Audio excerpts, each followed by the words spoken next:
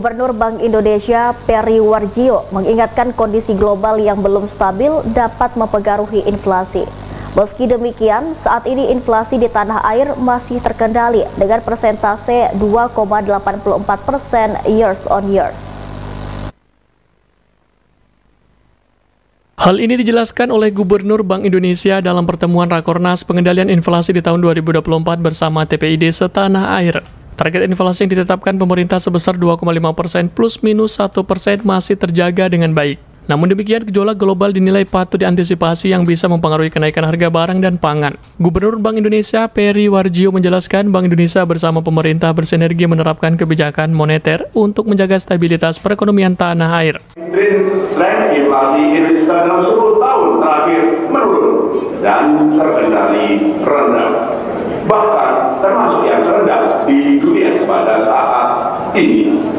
Inflasi IHK bulan Mei 2024 tercatat sebesar 2,84 persen, terjaga dalam kisaran target 2,5 plus minus 1 persen. Di sebagian besar daerah inflasi juga berada dalam kisaran target. Didukung eratnya sinergi pengendalian inflasi oleh pemerintah pusat dan daerah serta konsistensi kebijakan pemerintah dalam koordinasi erat pengendalian inflasi pusat dan daerah.